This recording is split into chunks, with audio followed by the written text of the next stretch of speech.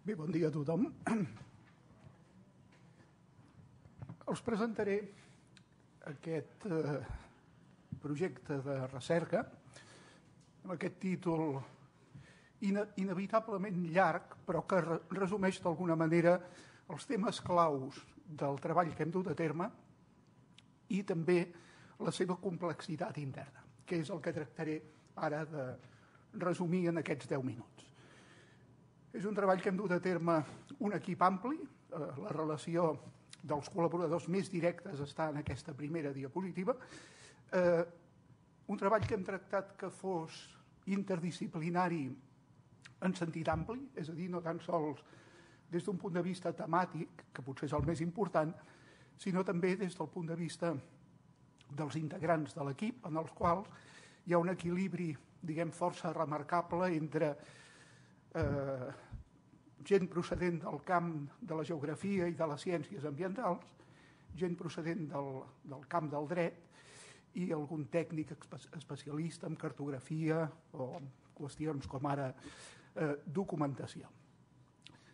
És un treball, en qualsevol cas, que si l'hagués de resumir amb una paraula clau, diria que és complex. Complex pel fet, per una banda, de eh, voler abordar l'estudi d'un territori concret, que és, com veurem després en els mapes, eh, la frontera interautonòmica entre les comunitats de Catalunya, d'Aragó i del País Valencià. Dit en altres paraules, vol dir estudiar des de la, base del detall, que vol dir des de l'escala municipal, eh, les particularitats territorials que, que presenta aquesta frontera en relació amb aquestes tres comunitats però sobretot des de la perspectiva dels problemes que genera a l'escala municipal, les administracions o corporacions locals.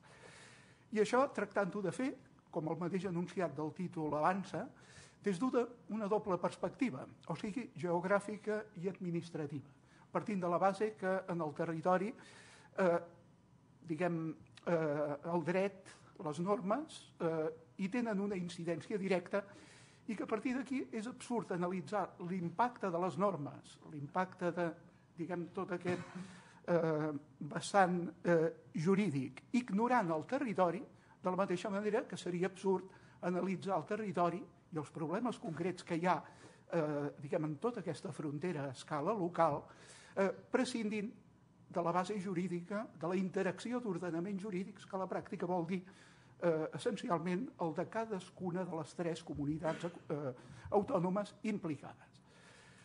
Per tant, eh, diguem, el, en el títol queda resumit aquesta problemàtica. Potser una idea clau també és la de municipi de frontera, en el sentit que hem volgut eh, posar la nostra atenció sobretot en els aproximadament 70 municipis que componen de nord a sud eh, aquesta estructura eh, geo geopolítica, amb un repartiment força desigual, aproximadament 35 municipis per la comunitat autònoma d'Aragó, una xifra una mica més reduïda pel que fa a la de Catalunya, i finalment els sis municipis, set eh, implicats de, de la comunitat valenciana. Perdó.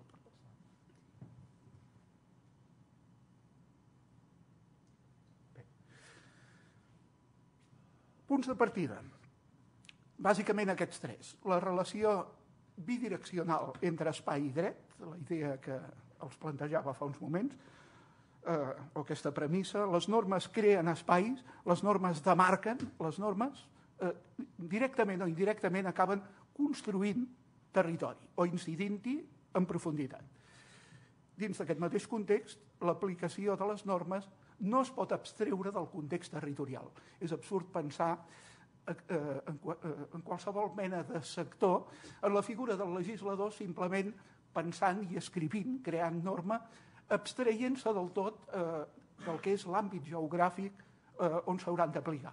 Perquè la pràctica, sent els municipis l'àmbit en què en un moment donat eh, en la gestió dels serveis i en l'organització política del territori eh, han de disposar d'eines, eh, la, la interacció entre norma i espai s'acaba convertint en inevitable i eh, indefugible. Segon punt de partida, la construcció progressiva d'una frontera interior entre comunitats autònomes. Eh, l'existència del mapa de les autonomies, eh, diguem com a base de l'organització territorial de l'Estat, ha comportat des del 1978 a la pràctica una construcció real d'una frontera interior en el sentit de, eh, diguem, eh, els efectes de cadascun d'aquests ordenaments jurídics diferenciats per cada una de les comunitats autònomes en el sentit de la seva aplicació. Eh, moltes vegades eh, eh, aquest plantejament, sense cap altra consideració crítica, ha portat com a conseqüència, i això ho hem constatat a la pràctica, disfuncions i dificultats, que sobretot des de l'òptica en què hem fet l'anàlisi, diguem, ajuntament per ajuntament, com explicaré després, ens ha portat a constatar-ho i a verificar-ho de forma contínua, d'una punta a l'altra de la frontera. I el tercer punt de partida, la necessitat de conèixer els fets in situ, com a premissa, la qüestió que els comentàvem a l'inici. No podem partir a l'hora de plantejar-nos com funciona el territori en relació amb aquests 80 municipis, que vol dir a la pràctica una frontera al llarg de 450 quilòmetres aproximadament, dissociant eh, el vessant jurídic del vessant geogràfic perquè entraríem en risc d'una visió totalment parcial eh, i desarrelada. Els objectius queden resumits eh, en aquests cinc. La, la determinació en sentit operatiu de l'espai de frontera entre Catalunya, la comunitat valenciana i Aragó. Parlem sempre de frontera en un sentit funcional, eh, veure fins a quin punt la creació eh, de la frontera que em referia abans amb el desenvolupament de l'estat eh, autonòmic ha comportat una sèrie de, de pràctiques sobre el terreny que han, ha comportat que un ajuntament d'un costat i de l'altre s'ignorin en un moment donat, malgrat que puguin tenir, en molts casos, problemes que són absolutament comuns. La connexió d'una riba a l'altra del riu, quan aquest riu és frontera, pel fet que justament en el riu acaben tots dos municipis la formació a vegades en aquests llocs, en un cap de pont d'un petit veïnat, nucli de població, que depèn de l'Ajuntament de l'altra banda, malgrat que municipalment continuï adscrit el del cantó originari. Problemes relacionats amb la prestació de serveis, dels múltiples serveis administratius a escala local, eh, la gestió dels residus, el proveïment de serveis bàsics. Moltes vegades aquests serveis no poden atenir-se al fet d'haver de respectar en sentit estricte una frontera que moltes vegades va en contra de la lògica del funcionament del territori. En aquest context, els altres objectius, l'anàlisi del, del paper del legislador autonòmic, o sigui, dels tres legisladors autonòmics respectius, en la determinació d'aquest àmbit. En tercer lloc, l'estudi de la importància del context en l'aplicació de les normes. Aquest, aquesta podríem dir que ha estat una condició de partida elemental pel nostre treball, en quart lloc, la recollida i sistematització dels elements separadors per una banda i integradors per l'altra de les comunitats de frontera, sempre partint de la base de que la interacció entre els municipis d'una banda i de l'altra té una raó de ser funcional i que, per tant, en un moment donat el límit no pot ser adoptat en sentit estricte com a criteri a l'hora de condicionar la prestació del servei, perquè això és anar en contra de la lògica del funcionament del territori des de sempre eh, tant des de l'any 78, en què comença a haver-hi aquest règim descentralitzat a escala de l'Estat, com des de temps immemorials. Les comunitats locals, hem observat al llarg de la recerca, que tendeixen a tractar de resoldre els seus problemes amb independència de les qüestions de tipus diguem, d'organització política que en un moment donat puguin condicionar eh, la seva tasca i les seves pràctiques. I cinquè objectiu, l'estudi de les possibilitats de construcció legal de la figura del municipi de frontera, que pensem que pot ser una alternativa de futur interessant des d'un punt de vista legislatiu per, per preveure amb racionalitat la gestió d'aquest tipus de problema. El primer mapa, el de, les, el de la, eh, aquest que tenen a la dreta de la imatge, on eh, hi ha aquesta descomposició dels 80 municipis eh, i la seva adscripció a cada una de les, eh, de les tres bandes. Vaig ràpid,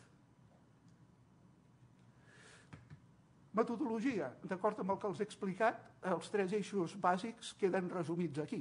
Anàlisi territorial per una banda, l'estudi eh, d'aquests 80 municipis en els 10 àmbits de treball eh, que hem eh, establert des d'un inici. En segon lloc, treball de camp, o sigui, visites en directe, amb entrevistes amb actors rellevants eh, als diferents municipis, sempre ens hem adreçat a tots.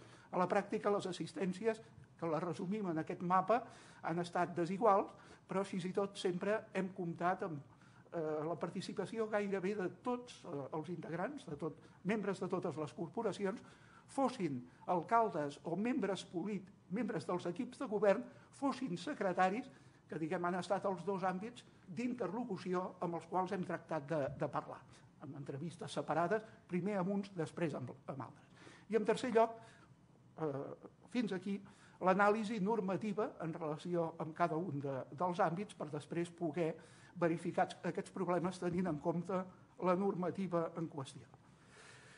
Eh, hem treballat a través de grups de discussió, eh, diguem, tractant d'aplicar una metodologia qualitativa coherent, eh, tal com he dit, eh, distingint per un cantó el que han estat els secretaris i per l'altre el grup dels alcaldes. Finalment, un apartat de qüestionaris que distribuïem en els assistents a les reunions una vegada acabades per tal de poder proveir-nos de dades més concretes per després poder sistematitzar eh, i analitzar en detall.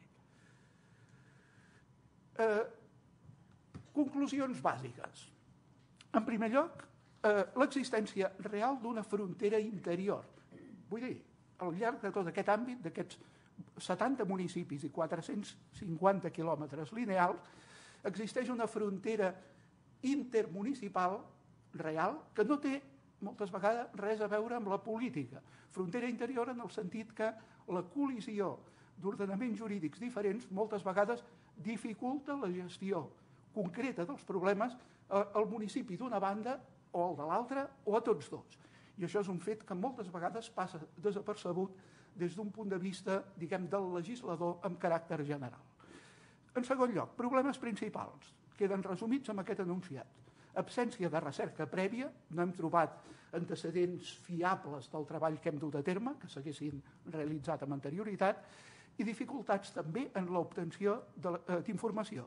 I afegiria el difícil context en què hem treballat aquests últims sis mesos, en què, atesa la problemàtica política diguem, vigent a nivell general, el fet, el fet de plantejar als ajuntaments que anàvem a dur a terme un estudi de frontera, bé que a escala intermunicipal es presentava eh, suspicàcies que en algun punt van ser greus. Va haver de recórrer estratègies d'aquelles de complexitat que diria el doctor Galant per finalment reconduir les coses i aconseguir poder tenir interlocució, pràcticament l'hem tingut amb un 85, prop del 90% dels casos. Tercer, eh, tercera conclusió, obertura d'un camp d'estudi pensem que el nostre treball és un primer punt de referència. Per nosaltres mateixos pensem que eh, no hem arribat a cap conclusió en profunditat, això hauria de ser l'inici d'una recerca posterior que ens permetés atendre amb més amplitud i amb més mitjans materials i temporals una tasca d'aquesta envergadura. Diguem, però com a prova, com a repte de recerca per nosaltres, ens en sentim força satisfets. Quarta conclusió, absència de conflicte, tal com diem, i són els conflictes, però puntuals i normalment generats o incentivats eh, eh, externament. Absència de conflictes que no vol dir que no hi hagi problemes. Perquè de problemes n'hi ha, però la gent tracta localment de resoldre'ls, tal com he comentat abans, probablement des de temps immemorials. Cinquena conclusió, necessitat de cooperació que en alguns casos ja es porta a terme i que eh, a la pràctica pensem que des d'un eh, punt de vista legal, tenint en compte els resultats de la cooperació que hi ha en els casos actuals, seria ben fàcil estendre el model a una escala més àmplia i en previsió d'unes pràctiques legislatives més ajustades i més coherents. Finalment, ja és l'última diapositiva, eh, l'impacte en les polítiques públiques, pensem, a partir d'aquest estudi dut a terme, eh, la primera el primer, eh, remarcar la importància del coneixement del territori, on es tracta d'aplicar un ordenament jurídic en un moment donat. L'efectivitat i l'eficàcia de les normes depèn, hem constatat, de la seva adaptació al context territorial. Segon impacte, necessitat d'afrontar les polítiques públiques des d'una perspectiva global, que en aquest cas vol dir transfronterera, si volem, a escala municipal, però transfronterera en qualsevol cas. Primer el territori, que vol dir primer el ciutadà, després la norma, no, no l'inrevés. Tercer impacte, necessitat d'eliminar o disminuir les disfuncions que afecten les comunitats de frontera. Molts municipis pateixen problemes greus. Com que són municipis petits, tenen molt poca visibilitat en la seva respectiva comunitat autònoma. Són petits i perifèrics, estan a la frontera de cada un dels tres àmbits analitzats, o sigui que la càrrega que tenen com a corporació municipal reduïda i marginal és veritablement gran. Quart impacte, necessitat d'abordar els problemes des de diferents punts de vista. El nostre treball ens ha permès constatar el paradigma de la transdisciplinarietat amb una temàtica com aquesta és absolutament de primer ordre i indefugible. I últim impacte, la necessitat d'utilització de mecanismes que afavoreixin un coneixement profund del coneixement territorial, incentivant-ho en la mesura possible en tot el que sigui recerca en treball social i territorial d'aquestes característiques, sigui mitjançant el treball de camp, els grups de discussió, els qüestionaris o les entrevistes en profunditat. Moltes gràcies. Gràcies.